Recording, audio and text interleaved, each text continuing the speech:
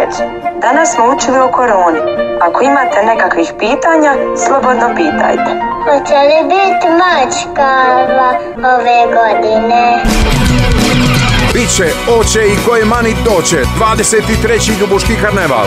Subota 24. srpnja. Raspad show.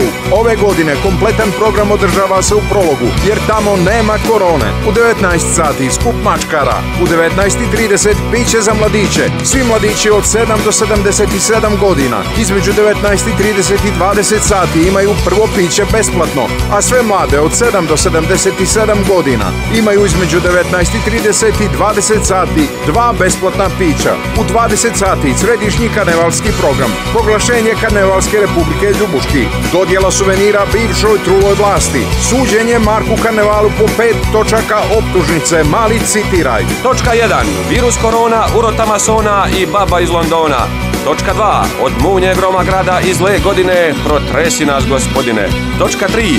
Vedranu Ljubuško, Nevenku Hrvatskog, Bogu Božje.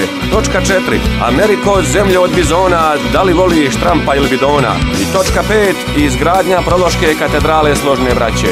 U nastavku programa tradicionalni karnevalski protokol, presuda i posmrtna beseda princa Marka Karnevala, bal pod maskama, spaljivanje Marka Karnevala, dodjela Nobelove nagrade za najbolje maske, a na kraju programa nastupa DJ Šilo. Dođite svi!